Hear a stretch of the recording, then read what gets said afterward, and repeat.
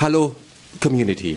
Bevor ich hier das sage, was ich sagen möchte, vielleicht zwei, drei Sätze zu dem Look, den wir hier im Moment sehen. Wir bauen um. Ja, wir erweitern unsere Studiokapazität, weil wir müssen mehr tun. Das hat unter anderem auch mit der beispiellosen Terrorwelle zu tun, die im Moment Europa erschüttert. Und viele fragen sich, huch, was ist denn da auf einmal los? Was passiert denn da plötzlich? Und ich möchte euch, ähm, weil ich mir wirklich sehr intensiv Gedanken dazu mache, wie das denn eigentlich weitergehen soll und was mein Job als Journalist eigentlich ist, wie ich damit umgehe, ich möchte euch Folgendes sagen. Ein paar also teilhaben lassen an dem, was in meinem Kopf passiert. Das, was wir im Moment erleben, ist kein plötzlich. Das, was wir im Moment an Terrorismus erleben, an Zerstörung erleben, an Wahnsinn erleben in Europa, das ist nur eine leichte Spiegelung dessen, äh, was im Nahen Osten seit vielen Jahren passiert. Und zwar auch mit der Beteiligung Deutschlands. Unsere Regierung, Rammstein Stichwort, mischt mit, wenn wir, ja, behilflich sind dabei, wenn das Imperium Amerika und seine Partner, wir sind ja da Partner, also wir die Regierung und wir die Bürger, die wir das zulassen, das ist ja das Dilemma, wir sind eben beteiligt daran, dass diese Länder komplett zerstört werden. Und wenn man sich anschaut, ähm, was wir in den letzten Wochen und Monaten erlebt haben. Junge Männer sind bewaffnet, schießen auf Kinder oder sprengen sich in die Luft oder versuchen sich in die Luft zu sprengen und ja, äh, richten größtmöglichen Schaden an. Wo gibt es da einen gemeinsamen Nenner? Dann gibt es diesen äh, Nenner schon. Die meisten dieser Täter kommen aus Ländern und ihre Eltern kommen aus Ländern, die in den letzten Jahren vom Imperium, den Vereinigten Staaten, zerstört wurden, zu äh, Failed States wurden und die vollkommen traumatisierte Bevölkerung hinterlassen haben. Und nur ein Bruchteil derer, die nach Deutschland kommen, ähm, leben das eben dann in einem Terrorakt aus. Aber und das ist der entscheidende Punkt. Dieser Bruchteil lässt sich steigern und er wird sich auch steigern. Was wir im Moment erleben, ist der Anfang von einer Terrorwelle, die im Moment nur so eine kleine Pfütze ist. Wir waren hier vor ein paar Tagen in Rammstein. Da waren 5000 Leute und er hätten eigentlich 50 oder 500.000 sein äh, sollen. Aber viele haben sich wahrscheinlich die Frage gestellt, was mache ich da? Äh, kann ich was gegen Rammstein machen? Oder aber ganz ehrlich, davon bin ich ja dann nur betroffen, wenn ich in Rammstein wohne. Und ich meine, die aktuelle Terrorwelle zeigt, nee, du bist davon betroffen, wenn du in Mitteleuropa oder in Europa zu Hause bist. Warum? Weil wo immer ein Land zerbombt wurde, wo immer Menschen paralysiert wurden, wo immer totale Zerstörung stattgefunden hat, kommt es zu Flüchtlingsbewegungen. Und diese Menschen kommen nach Europa. Das hast du nicht im Griff. Und wenn man sich anschaut, wer sich da in Europa in die Luft sprengt, wer sich in Deutschland in die Luft sprengt, wer in Reutling die Machete in die Hand nimmt, wer in Bayern äh, äh auf Menschen schießt, dann sind das in der Regel junge Männer, die aus Städten kommen, ja, die aussehen wie Berlin 1945, also Stunde Null. Die Älteren unter uns, die werden sich daran erinnern, ähm, wie die Menschen, die damals dieses Bomber, diese Bombenteppich überlebt haben, wie die denn so drauf waren. Die sind natürlich nicht zur Tagesordnung übergegangen und äh, Friede, Feuer, Eierkuchen, sondern die waren natürlich genauso polarisiert oder ähm, äh, kaputt. Ja, und ich erinnere mich auch an äh, Interviews mit Menschen, die, die damals davon sprachen, dass die älteren Herren, die an der Front waren, die sogenannte Zitterkrankheit hatten, die kamen so, die waren vollkommen zerrüttet.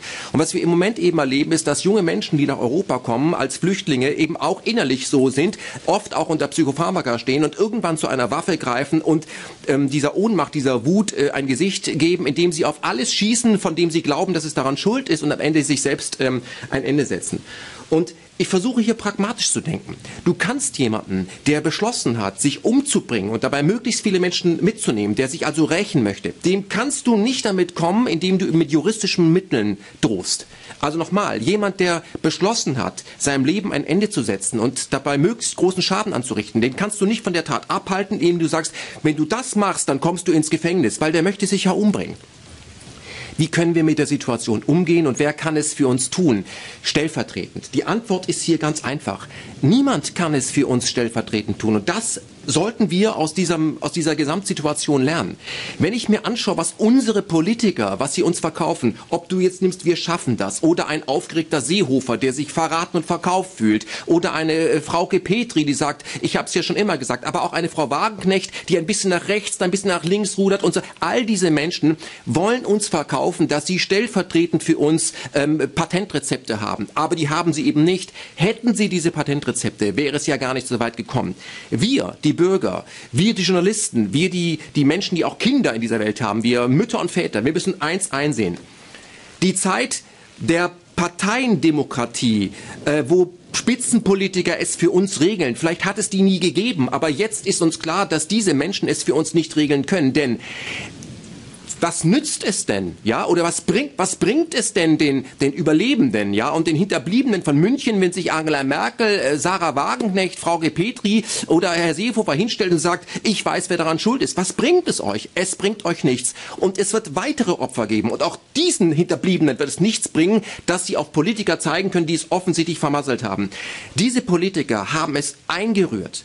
Aber wir haben zugelassen, dass sie es einrühren. Denn sie sprechen sich nicht eindeutig gegen die, die Ursachen von dem aus. Was wir hier an Terror erleben, das ist das Endprodukt von Bombentapingen, an denen wir beteiligt waren, indem wir die Länder im Mittleren Osten von Libyen, Afghanistan, Irak und Syrien bombardiert haben. Und während wir hier sprechen, während wir über die Opfer nachdenken, während wir darüber nachdenken, was wir hier tun können, wird ja weiter bombardiert. Und das ist ja das Perverse. Und da werde ich wirklich sauer.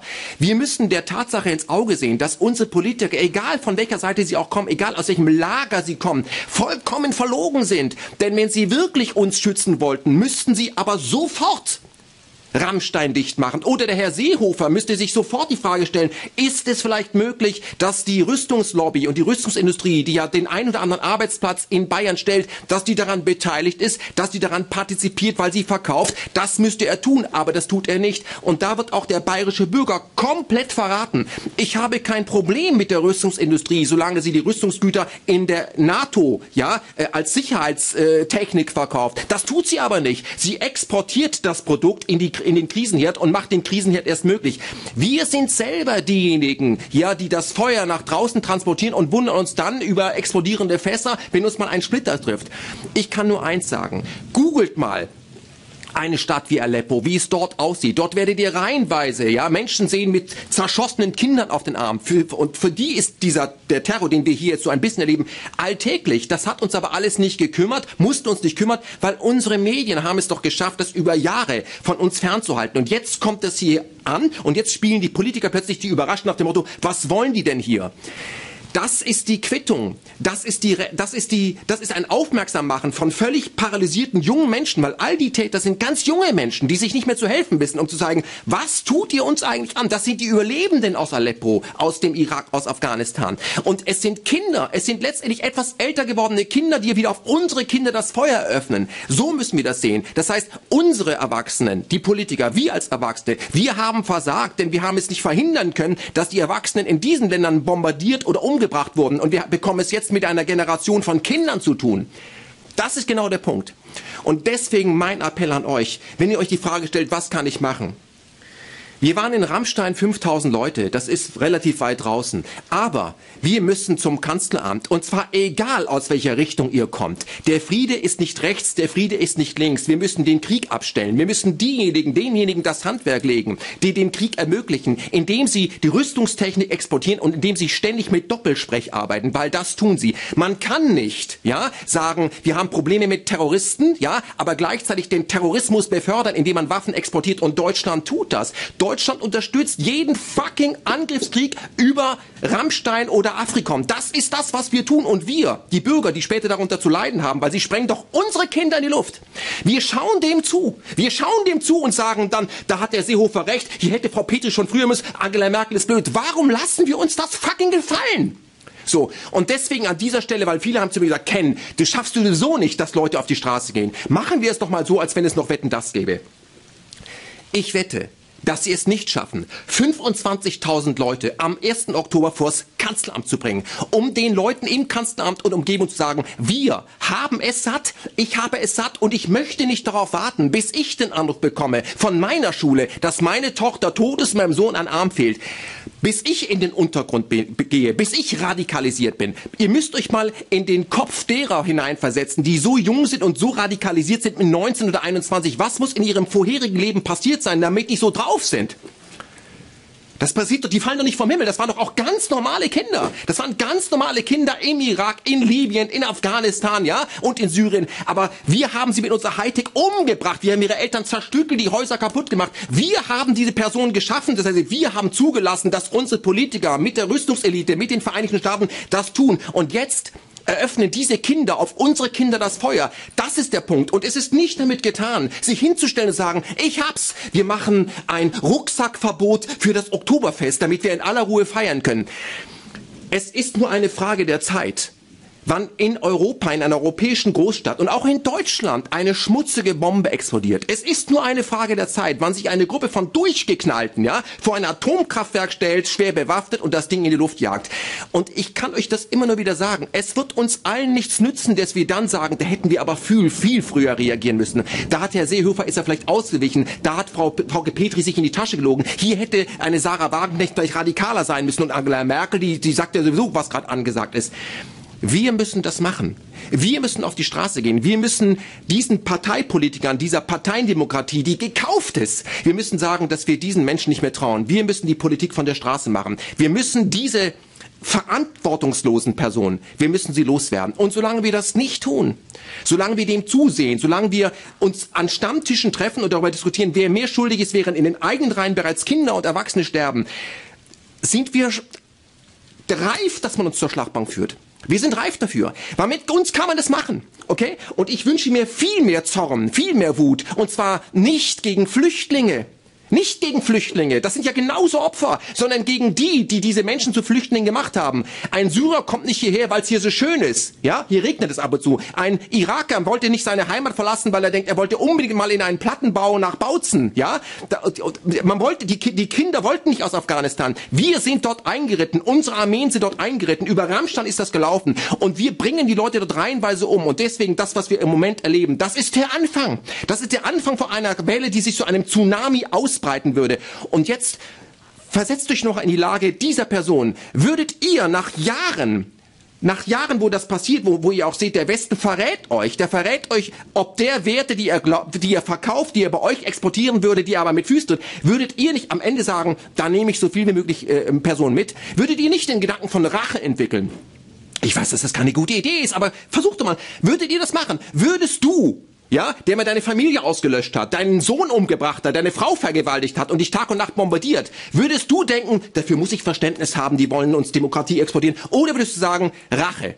Wir, wir haben eine ganze Kinobranche, die nur damit arbeitet. Ein Mann sieht rot, Terminator mit Rache. Und das ist das, was im Moment kommt. Da gibt's ein schönes Sprichwort dafür. Wer Wind sät, wird Sturm ernten. Und das ist der Anfang eines Sturmes. Und deswegen mein Appell. Es bringt nichts, bis zum nächsten Jahr zu warten, dass wir uns dann vielleicht mit 15.000 Leuten bei Rammstein treffen, während parallel auch unter der neuen äh, äh, äh, Präsidentin Clinton oder Trump Drohnen fliegen, ja, die Menschen umbringen und also Rüstungs, äh, also Opfer produzieren oder wie, wie Noam Chomsky sagt, die, die Drohnengeschichte ist das größte ähm, Terrorismus-Erzeugungsprogramm der Welt. Das sind die Fakten. Wir müssen jetzt ganz schnell vors Kanzleramt und dieser Regierung und all denen, die da partizipieren, sagen, wir brauchen euch nicht mehr. Ihr seid komplett unfähig. Wir müssen uns nicht darüber aufregen, dass wir in der Türkei einen Ausnahmezustand haben. Wir sollten uns die Frage stellen, warum wird der Ausnahmezustand in Frankreich verlängert? Wem nützt überhaupt dieser Ausnahmezustand? Die Gesetz Gesetze, die dann kommen, wem nützen die? Wir strangulieren doch unsere Gesellschaften. Dazu brauchen wir gar kein IS und vielleicht reiben sich die Eliten da gerade die Hände. Ich möchte da gar nicht zu weit ausführen. Eins ist mal sicher. Wenn ihr, wenn wir, ich zähle mich dazu, wenn wir es nicht schaffen, endlich unseren Arsch und zwar in großer Zahl ins Rennen zu bringen, dann wird noch etwas ganz anderes hier passieren. Dann wird die Bundeswehr im Inneren eingesetzt und dann wird auch der Parlamentsvorbehalt abgeschafft. Das bedeutet, dass die amerikanischen Präsidenten darüber entscheiden werden, ob die Bundeswehr im Innern gegen Leute wie mich oder dich oder jeden, der sagt, hey, hier stimmt doch was nicht, eingesetzt wird. Und willst du so lange warten? Willst du so lange warten? Ich will es nicht. Und deswegen meine Solidarität gilt natürlich denjenigen, die Opfer sind, aber eben nicht nur den Opfern in Deutschland, vor allem den Opfern im Nahen Osten. Und es sind ja viel mehr. Die Opfer, ja, des Terrors im, im, im Nahen Osten, das sind ja vor allem Moslems. Opfer oder Terrorist Terroranschläge, wo es nur acht, zwölf oder zwanzig Tote gibt, das melden wir doch hier gar nicht mehr. Und das ist die Ignoranz. Das ist die Ignoranz. Das heißt, wir müssten uns als, als Menschen, als Bürger endlich solidarisch erklären, dass wir das nicht mehr zulassen. Dass wir Kriege befördern, weil hier einige Menschen Profit generieren und dass wir uns zurücklehnen und sagen, na ja, Hauptsache, ähm, es betrifft mich insofern nicht, dass ich in aller Ruhe gerne shoppen gehen möchte, weil das ist nämlich jetzt vorbei das ist jetzt vorbei. Und wenn das dazu führt, dass du sagst, okay, jetzt wache ich auf, dann hat es auch seine guten Seiten. Die Zeit des in aller Ruhe schön shoppen gehen können oder billig tanken ist vorbei. Denn du kriegst es nicht mehr kontrolliert. Nicht, weil die Grenzen geöffnet wurden und wir 300.000, 400.000 Menschen haben, die, die wir nicht mehr kontrollieren können. Wir haben hier auch sehr viele Menschen mit Migrationshintergrund, die waren nie in diesen Ländern, die sich solidarisch erklären, beziehungsweise die allergisch auf unsere bigotte Verlogenheit reagieren. Und dafür habe ich Verständnis. Ich verstehe das. Ich verstehe nicht, ja, und habe kein Verständnis, unterstütze nicht, dass diese Menschen Menschen dann sich bewaffnen und Leute umbringen. Aber das ist doch eine Tat der totalen Verzweiflung. Das ist jemand, der sich nicht mehr anders zu helfen weiß. Das ist der lauteste Hilferuf, den man überhaupt senden kann. Und wenn du möchtest, dass wir in zwei, drei Jahren sagen, das war der Peak einer Terrorwelle und dann haben wir reagiert und zwar vernünftig, dann musst du jetzt auf die Straße. Deswegen nochmal. Ich wette, dass wir es nicht schaffen. Das heißt, ich wette, dass wir es schaffen, dass wir am 1.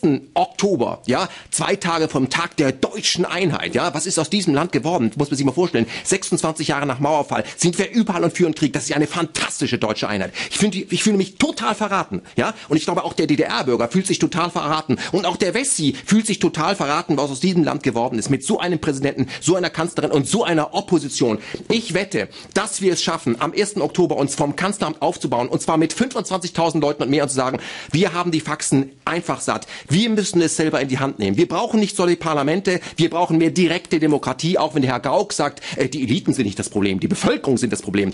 Diese Politiker sind das Problem und wir, die Bevölkerung, die sagt, da ist jemand, der das alles richtet, wir sind das Problem. Wir müssen das Problem dahingehend beenden und auflösen, indem wir zu Aktivisten werden. Ich bitte euch, ich appelliere an euch, denkt darüber nach, ja, auch während der Sommerferien. Was macht ihr am 1. Oktober? Das ist ein Samstag. Bewegt euren Arsch nach Berlin. Stellt euch vors Kanzleramt auf. Ich werde auf jeden Fall da sein. Egal, ob da drei, sieben oder 60 Menschen sind oder 60.000. Ich würde mir das wünschen. Und ich appelliere auch an die Künstler, sich mal politisch aus dem Fenster zu nehmen sagen, was wird das, wenn es fertig ist? Wir müssen die Verantwortung übernehmen und wir können nicht sagen, sie, jener und er ist dafür zuständig. Die sind zu beschäftigt mit ihrer eigenen Karriere, um sich dafür zu interessieren, was mit uns und unseren Kindern passiert. Wir müssen es selber in die Hand nehmen. Ich bitte euch, euch. Kommt am 1. Oktober vors Kanzleramt, macht es einfach, okay? Und wartet nicht bis Rammstein. In Rammstein sehen wir uns sowieso, aber bis dahin, das garantiere ich, wird noch die ein oder andere Bombe in Deutschland explodiert sein. Und euch sollte es jetzt reichen, ihr solltet die Faxen dicke haben, okay? Ich habe sie wirklich dicke. Aber ich mache was mit diesem Zorn, indem ich euch aufrufe, Rückgrat zu zeigen und vor allem Haltung zu zeigen. Wenn ihr für das Leben seid, wenn ihr Respekt vor dem Leben habt, dann habt ihr Respekt vor dem Leben überall auf der Welt und nicht nur für deutsches Leben, sondern ihr habt Respekt vor dem Leben von Kindern überall auf der Welt, die wir angreifen, deren Eltern wir umbringen, denen wir ihre Zukunft nehmen. Und das ist die Quittung. Das ist die Quittung, die wir hier haben. Und ich kann verstehen, dass die Menschen so reagieren. Nur, wie gesagt, du kannst jemanden, der bereits so weit ist, dass er sich umbringen will und möglichst viele Menschen mitnehmen möchte, ja, der auch unter Psychopharmaka schon ist, weil seine Heimat, sein Land, seine Familie umgebracht wurde, über Jahre bombardiert, während wir Fernsehen gucken, ja, und Pokémon Go spielen. Du kannst so jemandem nicht kommen, indem du ihn mit juristischen Konsequenzen drohst. Das kannst du nicht. Check your head.